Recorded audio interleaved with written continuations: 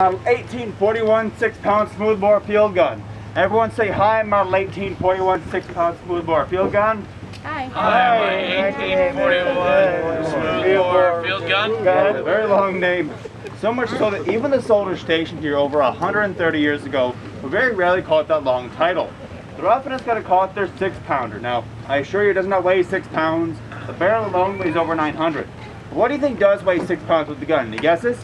Six pound ball. The cannonball, exactly. This cannon could lob a six pound cast iron cannonball up to a mile away. That's much the edges of Round Island out there. At that mile long distance, we could probably hit a tree on Round Island.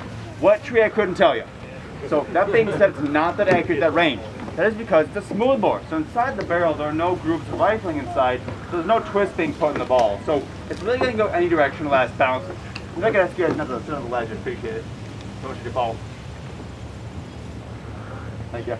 All right, but like I said, it's not all that accurate. It's more accurate range is more of a half mile mark. But there's just don't break wall out there where those ferries going. And no, we're not going to sink a ferry. We're going to step 10 times a day, just no.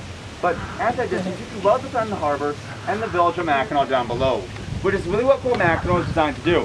But you see, that's for its early years. But me and Tristan are representing soldiers of the 1880s, and by then there's no threat to Fort Mackinac. So the only reason that we'll have this cannon is for ceremonial purposes. We'll be firing what are called salute shots. Just a little bit of gunpowder with no balls to get a bang off to celebrate things like a firework.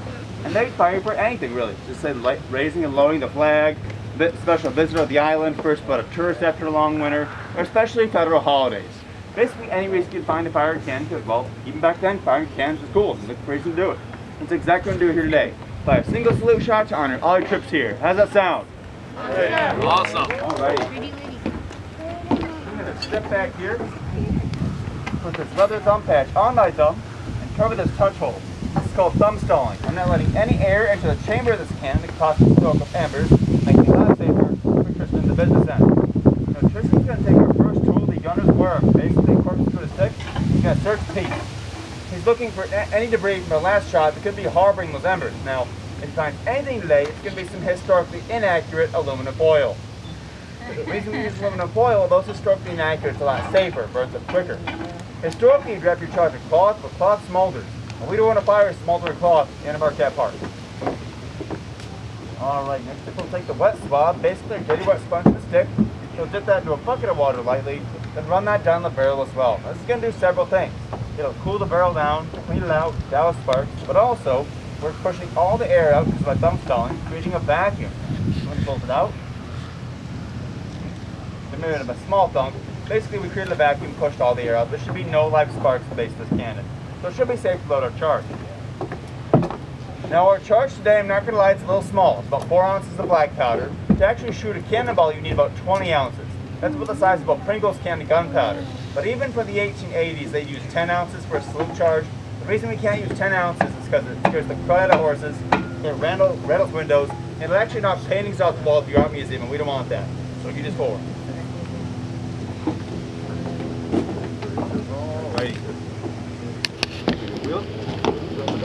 March.